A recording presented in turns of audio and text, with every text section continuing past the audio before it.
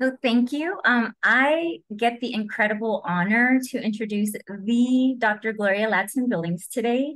She's the former Kellner Family Distinguished Professor of Urban Education in the Department of Curriculum and Instruction at the University of Wisconsin-Madison.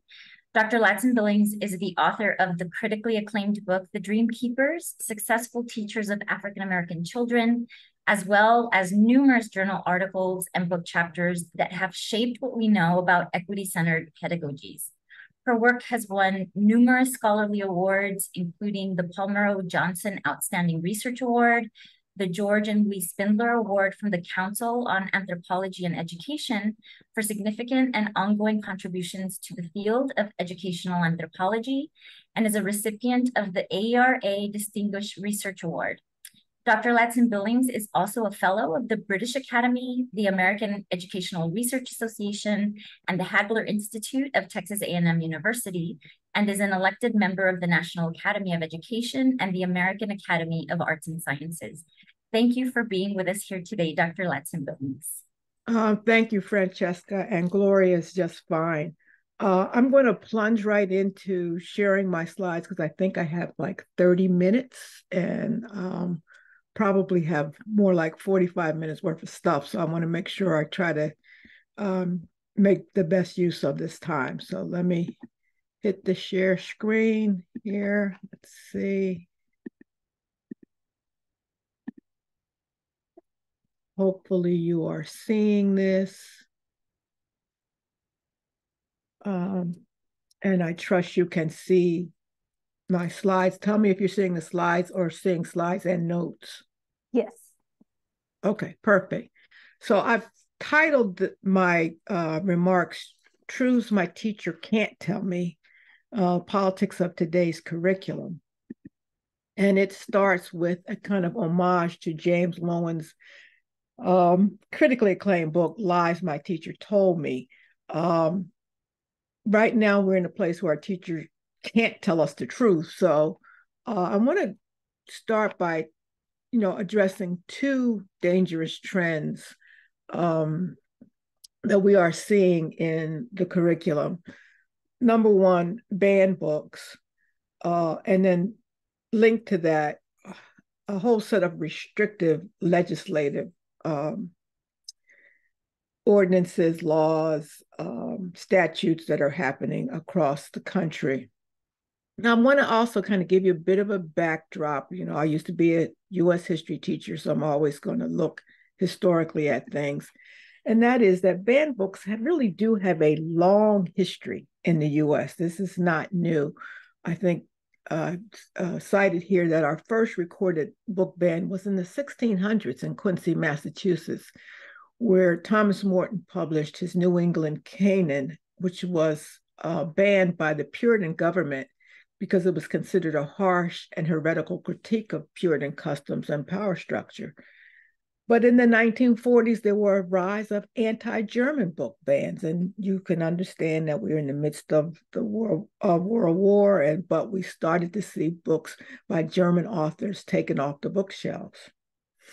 Most book bans in the US have been brought forward by religious groups. And typically, they are against things like uh, any discussion of sex or sexuality or evolution or any issues that challenge uh, the orthodoxy of a particular religious perspective. What I think is very dangerous about what we're seeing now is that today's bans are being generated at the governmental level, whether it is your school board or your state legislature. So it's not just an individual group saying we don't want this book in the in the library. We are seeing um, the people who are elected to uh, handle democratic processes uh, engaged in fostering book bans. And what's interesting, I think, is that the books are banned regardless of their literary merit. So in 1650, you have the banning of the meritorious price of our redemption, which I just referred to because it challenged Puritan ideas. In 1850, it was Harriet Beecher Stowe's Uncle Tom's Cabin that was banned. Uh, in 1873, you have the passage of the Comstock Act making it illegal to possess, quote, obscene or, quote, immoral texts. And of course, those, what the definition of obscenity and immorality we know is really a kind of local decision. And then throughout the Jim Crow era in the South, there was a banning of books that were unsympathetic uh, uh, to the South's Civil War laws. In some ways, this is important today because you have organizations, as we talked in an earlier uh, session, like the Moms for Liberty, who I think are very close in their uh, messaging and their organizational structure to the Daughters of the Confederacy. The discussion of the so called war of Northern aggression, or the idea that even though um, the South lost the war, they won a moral victory, really got promulgated by the Daughters of the Confederacy, that they really took over the narrative. So I want to share with you a very short video that talks about uh, the rise of book bans. What do these three books have in common? Any guesses? They are three of the most commonly challenged and banned books in the United States. A study by the American Library Association found that more than 1,500 books were challenged or banned by schools, libraries, and universities in 2021. Most were written by or about LGBTQIA or Black individuals. For comparison, the association noted just 273 challenges or bans in 2020. Even children's books are coming under attack. They include a book called Anti Racist Baby uh, by I- Ibram Kendi. Do you agree with this book that is being taught with kids that, that babies are racist? It was a symbolic moment of just how much people like Senator Cruz is trying to distract from the real issue or even to demonize materials and books that are actually good for children, helpful for children, allow children to be able to operate in this highly uh, unequal and multiracial world. Book banning in the United States is nothing new. For decades, there have been cries to remove certain books off shelves and out of the classroom. Many book banning efforts historically focused on depictions of slavery, segregation, and racism. One of the most famously banned books, To Kill a Mockingbird by Harper Lee, was published in 1960. Honors Harper Lee for her outstanding contribution to the great literary tradition of America. It topped the list of most challenged books for years, despite earning a Pulitzer Prize, being adapted into an Oscar winning film, and being generally regarded as one of the most important novels in a generation. In our courts, all men are created equal. Nowadays, the book is a mainstay in curriculums across the country, but the practice of book banning is finding new life and growing to include both classic novels and newer works. We're in a moment of intense contestation over issues of diversity, inclusion. Let's say you take these books out of the library. What are you going to do with them? You going to put them in the street? Light them on fire? Where, where are they going? Representative Sexton. I don't have a clue, but I would burn them. What we're seeing is people, politicians tapping into people's frustration, their anxiety about these changes, and pointing to book bans as a kind of rallying cry to say, you know, here's a way that we can push back these tides that we don't agree with. Parents and politicians commonly cite things like profanity, political indoctrination, and sexually and racially explicit language as reasons for wanting a book to be banned. You all are going to hear what our children are hearing in books. And don't stop me. Public school teachers and librarians are at the forefront of this battle. The reason certain stories, like you think Shakespeare, like lasts through the centuries is because there are themes that are just timeless: love, friendship, betrayal, war, death.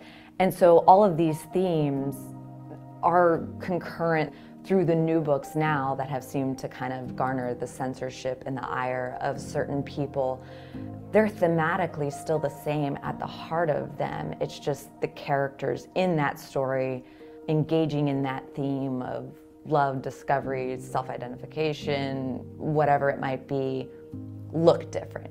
The dangers of censoring books with diverse characters are twofold. These books allow children to see people who look like them represented in novels, helping them feel less alone. They also provide an opportunity for readers to learn about those who aren't like them, people who come from diverse backgrounds. And then the kind of window aspect is for other people and students to be able to see outside themselves, which I think, you know, kind of builds those bridges, creates more empathy when you can walk a mile in someone else's shoes and understand something from their perspective. That's something that you just can't verbalize in a, a lesson. Like you have to walk through a story in a book to get both of those things. The reason why I stood against my, my school district's book ban was because I didn't want future African American kids to go through some of the things I went through growing up. Books that highlight our differences and teach others how to address diversity are crucial. These books shouldn't be up for debate. Books are one of the tools that allow us to be lifelong learners. Of all the things we could be banning, these folks are banning books, but it also demonstrates just the power of books books aren't dangerous. At least they're not dangerous to, to, to, to those of us who want to create an equitable and just society.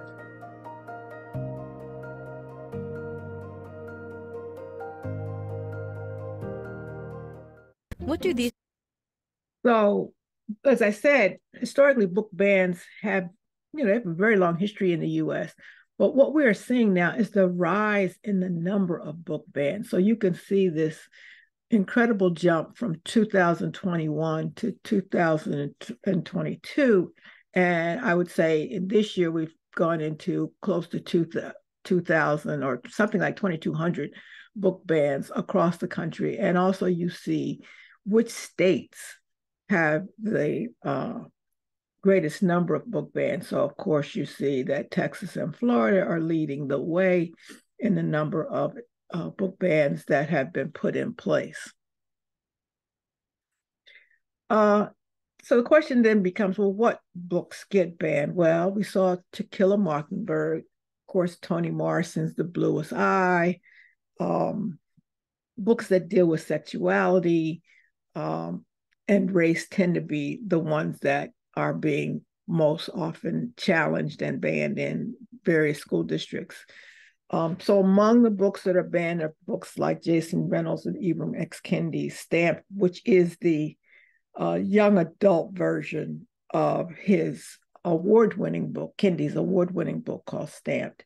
Um, Ruby Bridges' book, This Is Your Time, Maya Angelou and Still I Rise, Ta-Nehisi Coates, Between the World and Me, Paul Ortiz, An African American and Latinx History of the U.S., uh, Mikki Kendall, Kendall's Hood, Hood Feminism, and Angie Thomas's The Hate You Give. Uh, all of these books happen to deal with race. There's a whole other set of books that deal with gender, sexuality. Um, so before I sort of switch to this other dangerous trend, I do want to give a shout out and thank you to the Illinois Secretary of State, Alexi Giannoulias. Um, I am. I just gave a talk to the Illinois for the Illinois uh, State Board of Education for the Equity Summit this past week. Um, this is one Secretary of State that isn't just sitting back. He has made it uh, against the law to ban the books. So essentially, it's like, no, we're not going to participate in this in the state of Illinois. I think California has done something similar. So it's heartening that there are at least some uh, legislators and some uh, folks in the forefront of the battle who are pushing back um, and not just letting this occur. So the second trend, of course, has to do with the, the legislative trends. Florida's HB 7, which was passed last year, is designed to create employer liabilities. In other words, you can have no mandatory diversity trainings uh, if you are an employer. You also it's also designed to create public school liabilities. So now you have a situation where the students, the parents, and individuals can sue for damages over instructional training that involves certain topics. And it also requires curriculum changes. So it requires um, excuse me, prohibits K 12 topics related to discrimination or so called divisive topics. Now, what's a divisive topic? That is another issue that I think uh, is up for discussion. So we actually get inside of HB 7, uh, so called Stop Woke Act. On the left, you have some of the, the wording from the act that uh, describes what they're calling woke. So, members of one race, color, sex, or national origin are morally superior to members of another race, color, sex, or national origin. They're saying that that's what's being taught. The truth is, US universities, for example, have had a very long history of eugenics where they taught whites as superior to others. In fact, uh, just finished reading uh, Malcolm Harris's book Palo Alto, and he talks about how Stanford was really they had a required course at Stanford when they were first uh, established called bionomics, which was really just another word for eugenics because they were saying that only certain groups of people were worthy. In fact, back then, to get into Stanford, you needed an IQ, you needed to score on the Stanford Binet uh, 142. And the part that really blew me away is if you were male, you needed to be over six foot two inches tall. I mean, what is that other than the notion that we're going to create an Uber race, right? Another example of the so called uh, what they're calling woke is an individual by virtue of his or her race, color, sex, or national origin is inherently racist, sexist, or oppressive, whether consciously or unconsciously. Now, that's not in any of the work that people who do this uh, diversity, equity, and inclusion work does. The truth is that the institution of Negro slavery, as it now exists in the Confederate States, this is a statement from the Constitution of the Confederate States of America, which I often suggest to teachers don't just teach the US Constitution, teach them this Constitution so that they can see what people were signing on to. What they said was that slavery shall be recognized and protected uh, that should see uh, word should be by Congress and by the territorial government, and the inhabitants of the several Confederate states and territories shall have the right to take us to such territory, any states lawfully held by them in any of the states or territories of the Confederacy. So they were uh, instantiating slavery, saying essentially that people, by virtue of their race, um, were not entitled to certain things. It goes on to point out that an individual's moral character or status is either privileged or oppressed, is necessarily determined by his race, color, sex. That's what they're saying you cannot teach. But what was taught, or what we did revere, was back in 1784, Thomas Jefferson saying that the Blacks, whether originally a distinct race or made distinct by time and circumstances, are inferior to the whites in the endowments both of body and mind. So here we have the so called founding father who believed in the inherent inferiority of people who were not white. Another point in the white uh, in the woke column is that the legislation says such virtues as merit, excellence, hard work, fairness, neutrality, objectivity, and racial color blindness are races and sexes, or were created by members of a particular race, color, sex, or national origin to oppress members of another race, color, sex, or national origin. So that that's what you cannot teach. But Michael Young, back in 1958, said the idea that people who find wealth and success do so because of personal merit alone are not at all, and not at all because of circumstances inherent in social structures, obscures the nuances of American economy, tax law, and income equality. So we know in truth, while you want to say someone is meritorious because they worked hard, we know that the social structures have been in place to ensure success for some groups. And so that's part of Florida's Stop Woke Act. But what about Texas? Well, Texas has passed SB 17 that prohibits all state funded colleges and universities from establishing or maintaining diversity, equity, and inclusion offices and bans the hiring or assignment of an employee to perform the duties of a DEI office. It also prohibits institutions from soliciting DEI statements from job candidates or giving preference to any applicants on the basis of race, sex, color, ethnicity, or national origin. and it bans any mandatory diversity training, quote, implemented in reference to race, color, ethnicity, gender, identity, or sexual orientation. So I actually have colleagues uh, and friends at both University of Texas and Texas A&M whose jobs have been eliminated because they were in DEI offices. Of course, we have the very specific case of Professor Kathleen McElroy.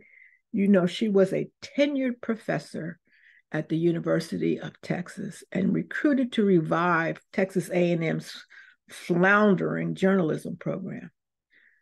Her offer was changed in midstream from a tenure track appointment to a one year term. Strike against her was that she was a former New York Times editor who was not good enough for A&M. And I think what happened to P- Professor McElroy is eerily reminiscent of what happened to Nikole Hannah-Jones.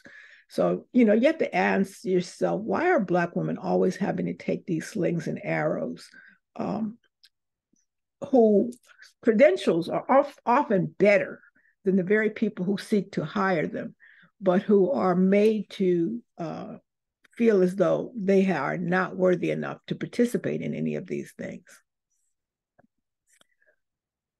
I know we like to highlight Texas and Florida, but I just wanted to share with you that this is a national uh, movement and strategy this is from the, this map is from uh, CRT Forward, which is located at UCLA. You will see in almost every state, there is some activity that is anti um, CRT, uh, anything related to race.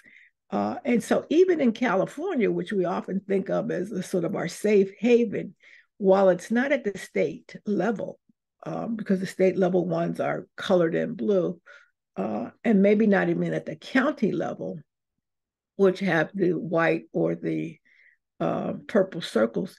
At the local school district level, look at the clump in California, in Southern California, and some part of inland like the Imperial Valley, where you begin to see these different uh, individual school districts who have taken up or Oregon or Washington. I mean, I think sometimes we think certain places are safe and this is just something happening in the South, maybe in the Midwest. No, it's happening everywhere. And it comes about because the rest of the world discovers in CRT sometime in September of 2020 when Donald Trump calls it a toxic propaganda that will destroy our country. Now, again, I'm a historian and with an anthropology background, so I'm always looking at context and culture. The context of September 2020 is that this man is behind in the polls in an election and he, he's trying to win. And in some ways, I've thought of this as a distraction, but it gets blown up by Christopher Rufo, who is out of the Manhattan Institute and these are two quotes that I took directly from Rufo's uh, Twitter or X or whatever it's now called page, because I wanted to make sure I didn't misquote him. He says the goal is to have the public read something crazy. I don't know what counts as crazy, but crazy in the newspaper and immediately think critical race theory. So anytime I read something crazy, I'm supposed to think critical race theory. He says we have decodified the term and will recodify it to annex the entire range of cultural contradictions that are unpopular with Americans. So I don't know who the Americans are that he's referring to, but this is the notion that, okay, we're going to make sure it's unpopular with them. His second quote is that we've successfully frozen the brand critical race theory into the public conversation and are steadily driving up negative perceptions we will eventually turn it toxic. And we, as we put all the various cultural insanities under that brand category. So again, what what's the cultural insanity? Uh, is LGBTQ cultural insanity? Is DEI cultural insanity? Is social emotional learning a cultural insanity? Because right now, those are things that are all being called critical race theory. Nikole Hannah-Jones's uh, 1619 project is not critical race theory, but is often categorized as it because this strategy um, that Rufo uh, proposes. Now, the thing is, one person, a Christopher Rufo, can't make this happen.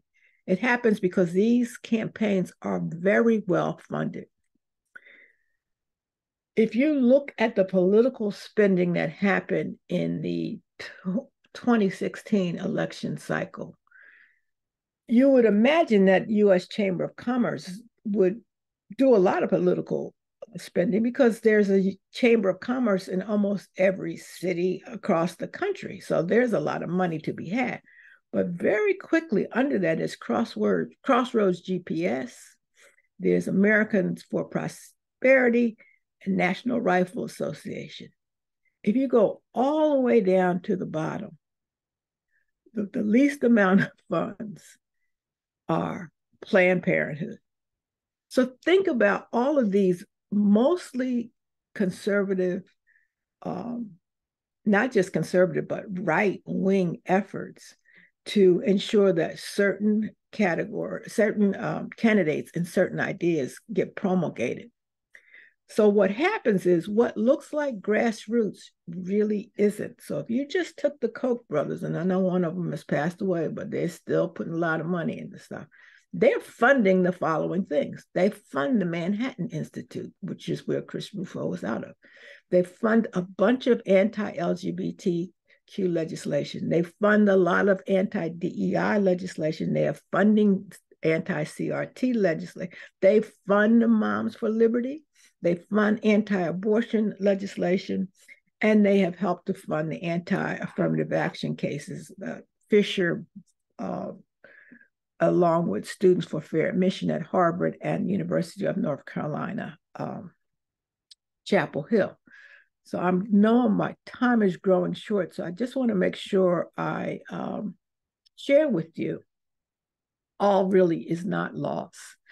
Uh, the African American Policy Forum is headed by uh, Professor Kimberlé Crenshaw has had its third critical race theory and intersectionality um, summer school. Uh, I got a chance to teach in that summer school again this year. We had over 700 students enroll in CRT summer school. Uh, folks like Benjamin Crump are out here on the front lines fighting back.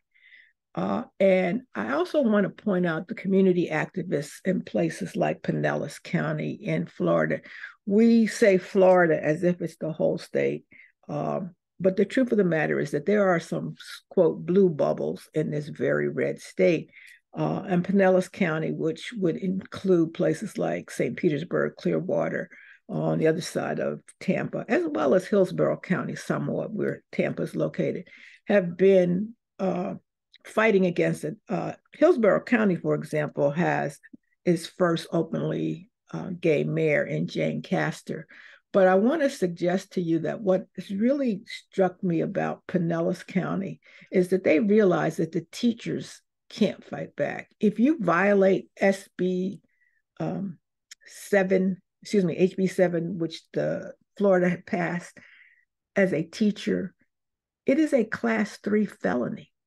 So it's not a misdemeanor. You don't get a ticket you now have a felony on your record and you will probably never teach again anywhere because you have to answer that question. Um, but what's happened in Pinellas County is community activists, the Urban League, NAACP, the League of Women Voters have all gotten together to fight back. If you go to a uh, cultural event in Pinellas County, say you go to a play or a concert, many of the organiz- the arts organizations have set up uh, book giveaways. So you go see the play, and then you get a chance to um, take home with you a banned book. So while I don't think the teachers can put themselves on the line because it's their livelihood, there are community efforts. And I think one of the things we may want to be thinking about is how do we build coalition so that these community efforts are amplified?